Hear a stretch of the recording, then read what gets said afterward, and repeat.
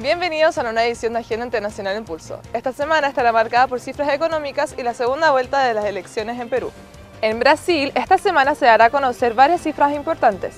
Primero, el lunes se dará a conocer la inflación de mayo. Se espera un avance de 10,99% versus el mismo mes del año anterior y un aumento de 0,75% en comparación con el mes anterior. El martes se dará a conocer el desempleo y el miércoles el PIB del primer trimestre, para el cual se espera una contracción de 0,6% trimestral y 5,8% versus el mismo trimestre del año anterior. En Estados Unidos también será una semana importante. Este lunes será feriado debido al Memorial Day.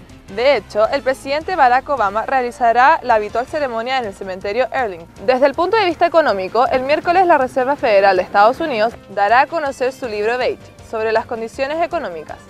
Este informe es relevante debido a que el organismo lo observa antes de tomar sus decisiones de política monetaria, en este caso, previo a la reunión que se realizará el 14 y 15 de junio. También, en Estados Unidos, este viernes se informará del desempleo de mayo.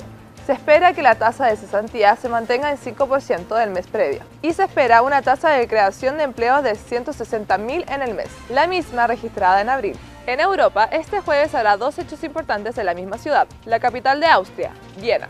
Por una parte, el jueves se realizará la reunión de la Organización de Estados Productores de Petróleo, OPEP, en medio de un repunte de los precios del crudo a niveles cercanos de 50 dólares por barril. El mismo jueves, el Banco Central Europeo realizará su reunión de política monetaria, seguida por la conferencia de prensa, donde el presidente del organismo, Mario Draghi, entregará señales sobre el rumbo de la política monetaria en ese país. Finalmente, en Perú se realizará este domingo la segunda vuelta de las elecciones presidenciales, que enfrentan a Pedro Pablo Kuczynski y a Keiko Fujimori. De acuerdo con las últimas encuestas, se espera que la hija del expresidente triunfe en las elecciones de este domingo y se transforme en la próxima presidenta de Perú desde el 28 de julio. Para más información recuerda visitar nuestra página web www.pulso.cl y nuestra versión para iPad.